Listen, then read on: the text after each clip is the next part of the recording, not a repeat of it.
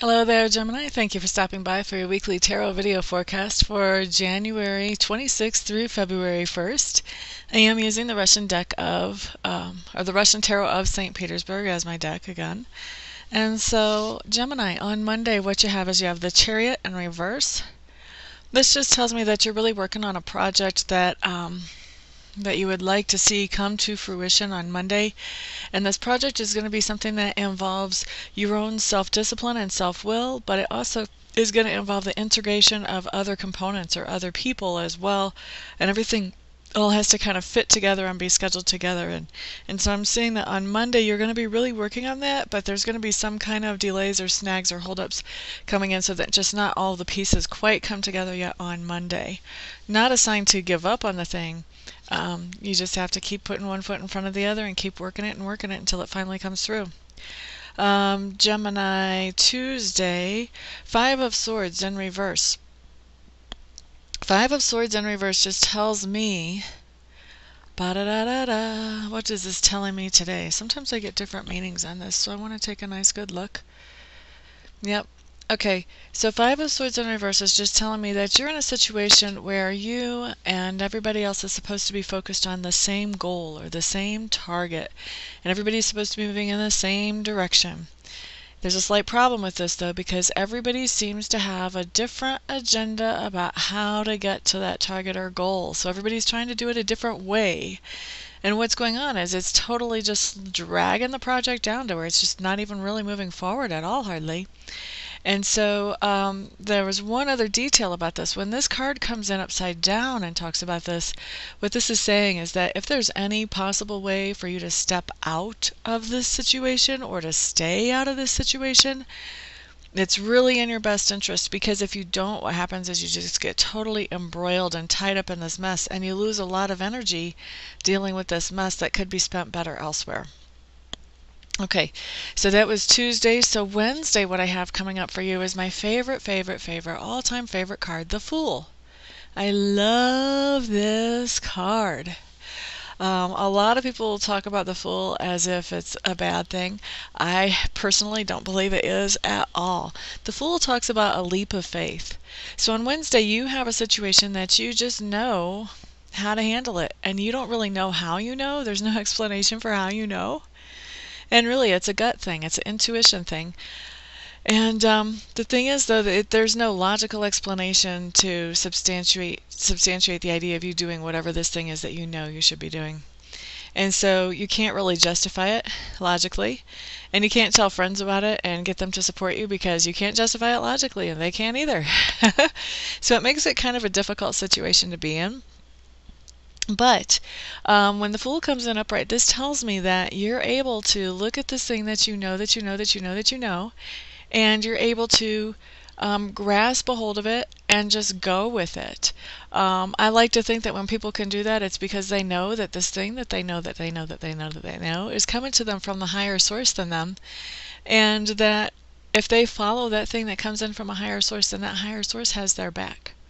And honestly, when you do, uh, uh, when you have a Fool card and a full situation in your life, and you leap out, do that leap of faith, it's the beginning of the most exciting, wonderful journey. You never know what's coming next, and Spirit, God, Universe, whatever name you want to put on that, always seems to surprise you with just the right thing at just the right time. Especially if you can keep yourself from stressing out about it and just go, okay, I'm out here because Spirit sent me out here. I know He's going to look out for me. so it's really, it's an amazing and wonderful journey. So congratulations to you, Geminis, on Wednesday. Now, Thursday, what we have coming up is we have the Three of Swords, but the Three of Swords is re reversed. And this is one of those cards that it's good to get reversed. When the Three of Swords comes in for me reversed, what this is telling me is that there's some kind of heartache that you've had in your life that on today, something's happening that's helping you to heal that or get over that. So, um, this would be a perfect indica indica indication of, say that somebody lost a close friend or a family member and so that was a heartache. I mean, you grieve from that. That's a huge heartache. Um, and then they go to a medium. Say say that some of you go to a medium on Thursday, and on Thursday the medium lets you know that that person is still around, is still doing well where they are, is still interested in you and watching out for you. Um, that's an amazing, amazing comfort to be able to hear something like that. Um, and I know this personally not only because I've received medium messages from people that I have been close to that have crossed over, but also because I am medium. And so I've seen people reactions whenever somebody comes through with those types of messages. So um, that's just one example of what can be happening on Thursday. There's a lot of different ways to heal from heartache. Maybe you and somebody are sitting down and having a real heart to heart talk about some situations that have happened between the two of you. And now you understand kind of more about where they were coming from and you realize, you know, this was not as personal as I thought it was. so it doesn't hurt as much then. Um, anyway, a lot of ways to heal from heartache, but the, the main point here is that on Thursday I do see you healing up from an old heartache. Maybe not completely, but at least getting some healing there. Now, Friday, Gemini, what you have is the Six of Clubs. And the Six of Clubs on Friday just means that you have been working on a project that not only benefits you, but also benefits others around you.